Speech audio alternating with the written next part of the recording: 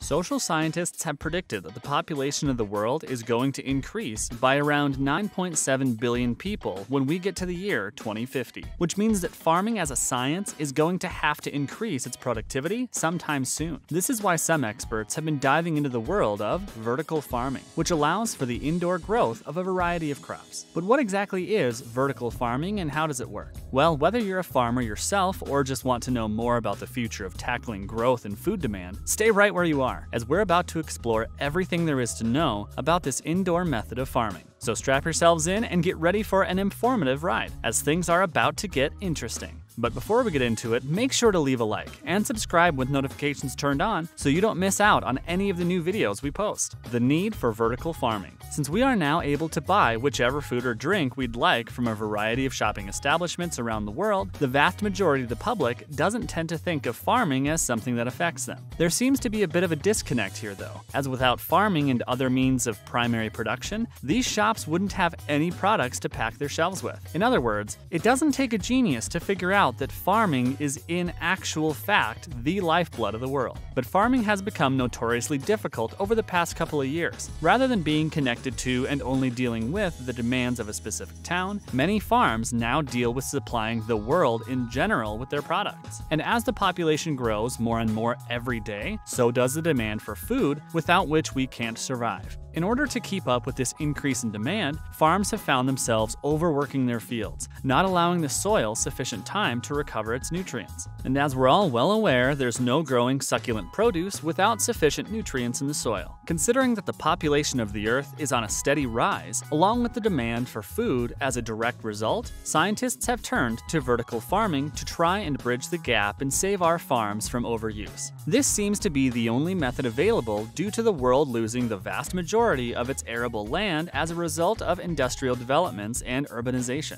In fact, back in 2015, already scientists had reported that the globe had lost around a third of its arable lands over a period of just 40 years. So, since we have no idea how much arable land we will be losing in the years to come, and keeping in mind that population growth is looking to increase by billions more people in the future, vertical farming can most definitely be said to be the answer. As to what this indoor method of farming actually is, let's go ahead and find out. Vertical farming as a method of food production. Without getting too technical, vertical farming is said to be the practice of producing food on vertically inclined surfaces rather than on flat arable land. So, rather than imagine a field of carrots as far as the eyes can see, think of a greenhouse with various layers of carrots stacked on top of one another. Since these vertical stacks are man made and out of reach of the majority of the environment, however, scientific principles need to be exercised to enable a solid stream of growth to take place. Using controlled environment agriculture, CEA, technology, farmers all across the world can repurpose greenhouses, skyscrapers, and even empty warehouse containers to create an environment rife for the growing of all forms of produce. As the name suggests, this technology allows the grower to artificially influence and control the temperature, light, humidity, and gases present to produce foods and medicines whilst indoors. In fact, we suppose you could say that vertical farming is very similar to the regular use of a greenhouse, which uses metal reflectors and artificial lighting to augment natural sunlight. But while a greenhouse still requires the input of the sun, vertical farming can actually do without. The main purposes of this indoor method of farming are pretty obvious. First of all, this method clearly protects crops from a number of external factors that may have destroyed crops left unattended to.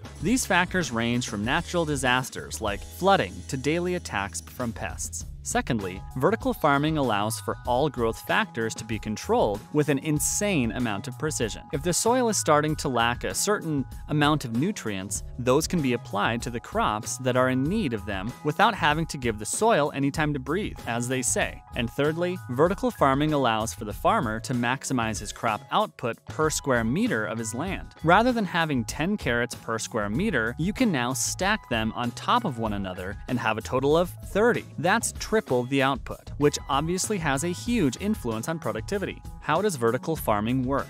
Now that we understand what vertical farming is and why it's necessary considering the bleak future that awaits us due to population growth, let's take a look at how vertical farming actually works. There are essentially four critical areas in understanding how this indoor method of farming has developed. The first is physical layout, which clearly has to do with how the farming rig has to be set up for success. Secondly, lighting is incredibly important, which we will come to talk about in a short while. Thirdly, the specific growing medium of the produce needs to be understood. While fourthly, the farmer needs to have a solid grasp on numerous sustainability features that may affect growth over time. Since the major purpose of vertical farming is producing more food per square meter than was previously possible, physical layout is incredibly important. Simply put, all crops have their own spatial requirements, which influence just how stacked you can make these vertical shelves you are planning on using. If you don't give the crops sufficient space, you are basically shooting yourself in the foot, and will slowly but surely discover that your productivity is on the low end of the spectrum. It might sound like the more vertical platforms you are able to stack, the greater your crop yield will be, but there's a perfect balance that must be struck here. The rule is to grow as much as you can without cramping your crops. Once the physical layout of your vertical farm has been established, you need to consider the lighting which you will have to introduce to promote growth. Remember, plant-based organisms use sunlight as a means of creating food for themselves, with it thus being necessary to make them grow.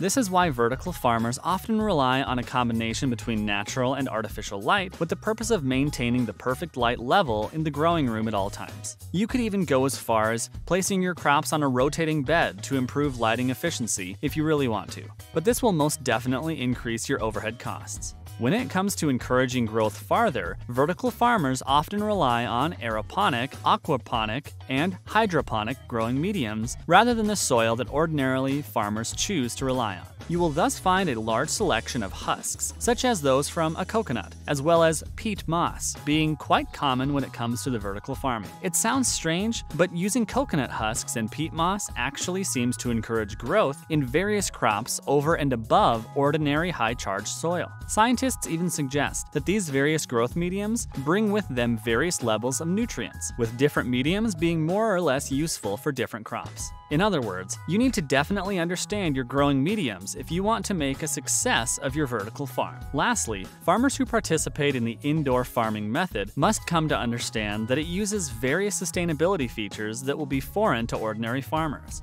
This makes vertical farming as a method rather difficult for those who have already trained themselves in the art of field farming. In fact, since vertical farming uses about 95% less water than field farming, there's a huge risk that an already trained farmer might purposefully flood his crops. But as long as the farmer understands the effects of this sustainable procedure, things should be alright in the long run. The advantages of vertical farming. Vertical farming definitely sounds like the farming of the future, and it should be incredibly helpful when it comes to overly populated regions such as Hong Kong and New York, where fresh produce can be hard to come by in the very central regions of the city. Imagine a single skyscraper of agricultural land which can produce products at a greater rate than a farm of 4 acres in size. The benefits of vertical farming can be summed up as follows. Number one, greater preparation for the future. Suffice it to say, vertical farming is a lot more predictable than field farming, as it succeeds based on a methodology of control. The produce yielded from field farming can also fall victim to a number of disasters, with the constant increase in production having the result of robbing soil of its nutrients. Without sufficient oversight, these forms of arable land can be overfarmed, producing nothing more than non-arable land in the process. In other words, it's clear that the more controlled method of farming, being vertical farming, allows for a greater amount of preparation for the future. Number 2. An increase to year-round crop production. Since one acre of an indoor area offers the equivalent in production to around 4 to 6 acres of outdoor area, there is no question that vertical farming is able to produce far more than field farming when it comes to pure numbers. And since population growth is at an all-time high, pure number is exactly what we should be looking at right now.